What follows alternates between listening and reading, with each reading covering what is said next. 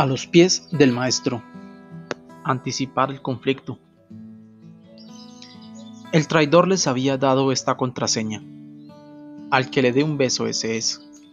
Arréstenlo y llévenselo bien asegurado. Tan pronto como llegó, Judas se acercó a Jesús. Rabí, le dijo, y lo besó. Entonces los hombres prendieron a Jesús. Marcos 14, 44 al 46. Nuestro Señor les dijo a sus discípulos, en este mundo afrontarán aflicciones. Juan 16:33. Y explicó que esto quería decir que los hombres los expulsarían de las sinagogas. Sí, que llegaría el momento en que aquellos que los mataran pensarían que estaban sirviendo a Dios. Asimismo serán perseguidos todos los que quieran llevar una vida piadosa en Cristo Jesús. Segunda de Timoteo 3:12. La oposición del mundo no está confinada a la persecución, sino que a veces toma la forma aún más peligrosa de la adulación. Se ofrecen anzuelos agradables y se utilizan encantos para alejar al creyente de su Señor.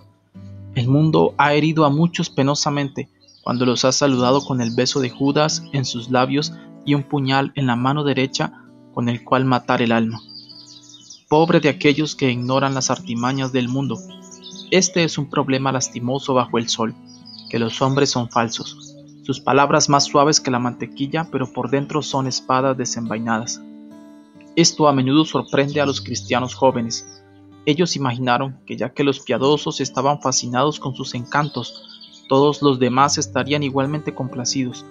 Tropiezan cuando descubren que se habla mal de su bondad. ¿Hay algún recluta primerizo entre mis oyentes?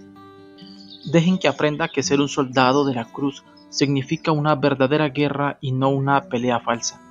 Él está en territorio enemigo y llegará el momento en que, como veterano de guerra, se sorprenderá si pasa un día sin conflicto o es capaz de envainar su espada durante una hora.